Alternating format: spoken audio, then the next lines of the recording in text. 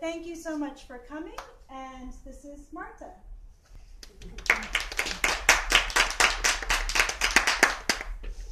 Okay, um, hello everyone, and thank you very much for having uh, offering me the possibility to do this presentation. I want to thank the IEN, I want to thank Alina Widows, uh, Guillermo Iglesias, and all of you for uh, joining me here tonight. And I hope that it will be something that we will all enjoy.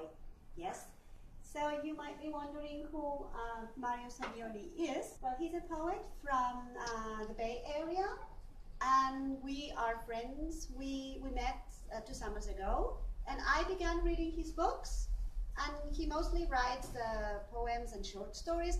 And I began to like them so much that I wrote one review after the other, and he was so pleased. I wrote an essay or a paper on his work and he was very happy. It was published on some websites. And anyway, the aim of the essay and also the aim of this presentation tonight is to provide the first insight into his literary work. And the idea is to, to help him attract possible new readers. Because uh, I, I was so happy, I enjoyed so much uh, reading his work that I thought maybe other people uh, will like to, to read his poems, his short stories.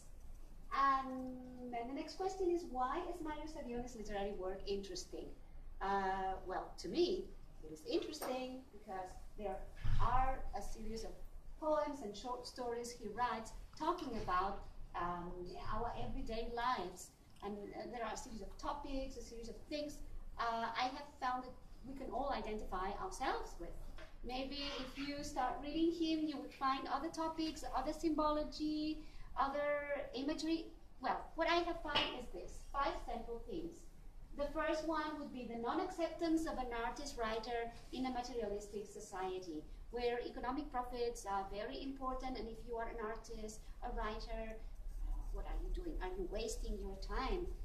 Uh, and artistry, literature is not being valued.